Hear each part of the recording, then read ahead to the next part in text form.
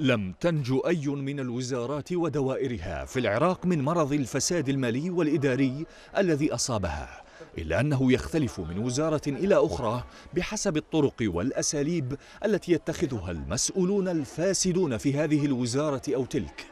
وزارة الصحة إحدى الوزارات الغارقة بالفساد الإداري والمالي.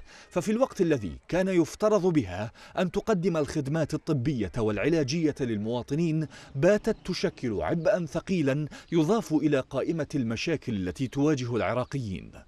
وسائل إعلام نشرت وثائق مسربة عن اختفاء نحو تريليون ومئة وسبعين مليار دينار مخصصة لشراء أدوية ومواد تخدير. إحدى تلك الوثائق صدرت من المفوضية العليا لحقوق الإنسان إلى مجلس الوزراء تضمنت تلقي المفوضية مناشدات وإخبارات من قبل المواطنين بخصوص نقص أدوية الأمراض المزمنة ومادة التخدير. الأمر الذي أدى إلى تأجيل عدد كبير من العمليات الجراحية العاجلة للمرضى.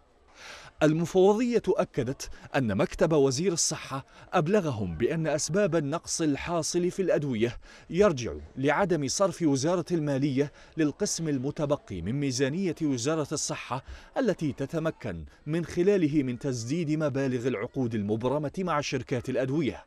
ما دفع المفوضية للإعاز إلى المالية بالإسراع في صرف مبالغ تلك العقود.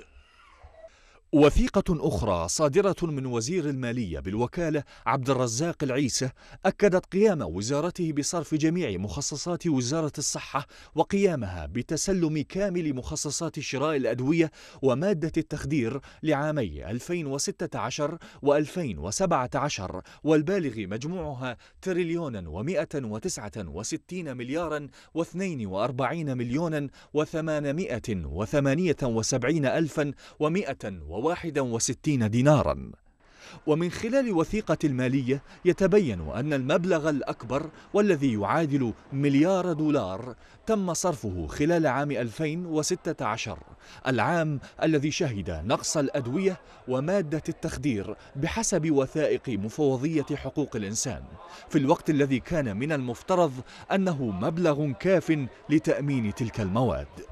ومن الجدير بالذكر أن السنوات الماضية التي شهدت تقشفا في الموازنات العامة لوزارات ومؤسسات الدولة لم تخفض أي من تخصيصات شراء الأدوية والمستلزمات الطبية لوزارة الصحة كونها تتعلق بصحة وحياة المواطنين.